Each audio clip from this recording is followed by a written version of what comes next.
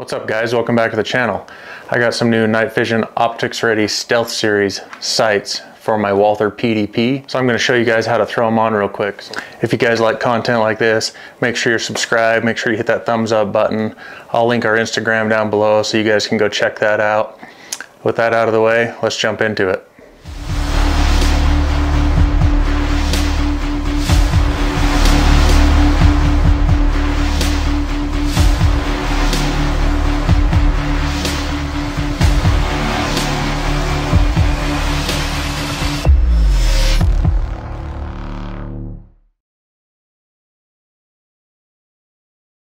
I've done a few videos on this gun. It's the Walther PDP. This one's a full size with a four inch barrel. It's clear, nothing in there. Um, and I have the Holosun red dot on it. Now with the factory sights on this and the red dot that sticks up a little higher, you can't co-witness with that red dot on there. Those things are a little too short to co-witness. So if you've seen any of my other videos, uh, these are some of my favorite sights, the Night Fision tritium sights. I like sights that uh, glow in the dark in case something happens in the dark. You can see your sights. These ones I special ordered from Night Fision, went on their site and put in the size that I wanted. It's got the square notch in the rear and then the yellow dot in the front. Um, now these ones that I spec for this one, they are a 330 to 353 blade height. You can select different heights. And the reason I chose that is I took my calipers and measured from the top of the slide to this flat part on the red dot, measured that and took that measurement and picked the correct sights so I'd be able to co-witness. Now these are lower thirds so they'll sit a little bit lower so you get as much clarity through that dot as you can when you're using it. And then if you need the irons, they're clear also. So I'm gonna break this down and we'll throw these on real quick.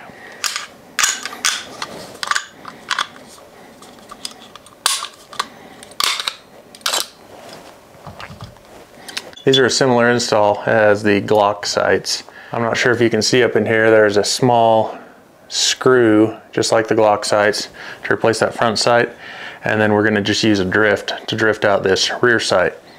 I do have a sight pusher that I could use for the rear sight, get this all mounted up in there and push it out, but I'm not going to do that on this one because using that sight pusher I would have to take the red dot off and I don't want to go through that hassle and re-zeroing it and all that stuff. So I'm just going to put it in the vise and use a drift to knock that out. So you will need a front sight tool. These aren't expensive. I think I got this one on Amazon. It's a VISM brand. You can go over there, check them out if you want. Um, but you will need a Glock front sight tool because if you try and use just a small socket on there, the walls on the socket are too thick and you won't be able to get up there on the little screw that's in there. So it's pretty simple. Just use your tool, pull the nut out on that front sight post.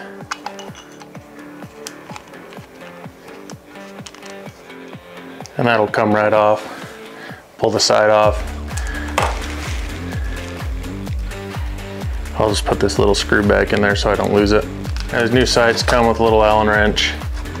Um, and then obviously the sights. So this is the rear sight. It's blacked out when you're normally looking at it. Then at night, those little tritium vials glow. And then the front sight just has that yellow kind of green dot with tritium in the center. Here's this front sight compared to the factory one. You can see it's quite a bit taller. Um, so I'm gonna throw this on really quick. It does come with Loctite already on it. So I'll just pull this little screw out. Then you'll just take it and set it right in the hole on that slide. This front sight tool is magnetized. So you just get your little screw set in here and run it down snug. Make sure you keep some pressure on that. Just hold it down tight against the slide while you run your screw in.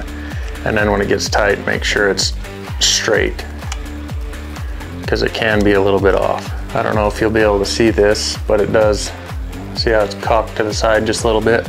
So I usually just eyeball it.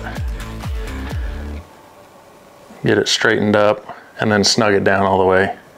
So for the rear side, I'm just gonna take a microfiber towel, put it on the slide uh, so it doesn't get scratched up when I put this in the vise, and then use a little, I have a little drift tool and a hammer to drive the old one out and then drive the new one in.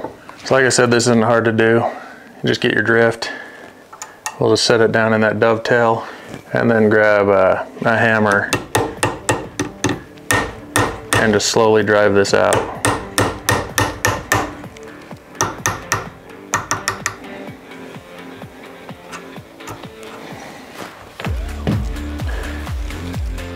Here's the new sight compared to the old one that was in it. So you can see it's, it's about twice as tall. So I'll just get this new sight kind of lined up in that dovetail.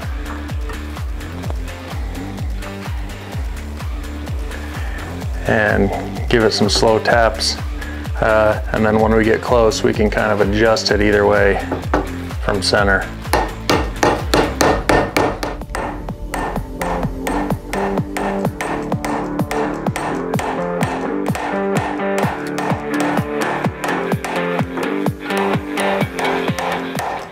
So when I get close, I'll just eyeball the distance on both sides and get it centered up.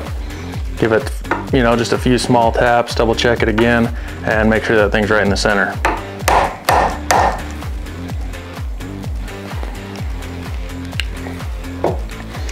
Now when I was hitting it with the hammer, I was using this kind of rubberized side of the hammer so I didn't mar it up at all.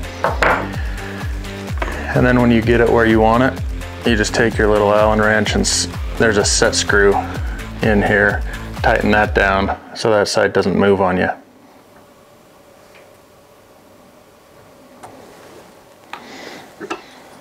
All right, now we can throw our barrel back in and our guide rod.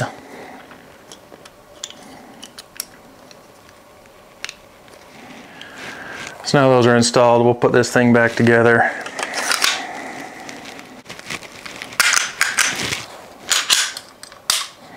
And as you can see, now you can co-witness through that dot with these new sights. Um, they stick up quite a bit further than the sights that were on it. These are made out of steel. They're CNC machined out of steel, so they're very strong. The, uh, the glass in these dots supposedly is made out of similar material as bulletproof glass, so they're extremely strong and it won't break if you bump it or drop them or whatever. But like I've said in the past, these Night Fision sights are some of my favorites. Um, they're easy to pick up. They glow extremely bright at night and they're not overly expensive.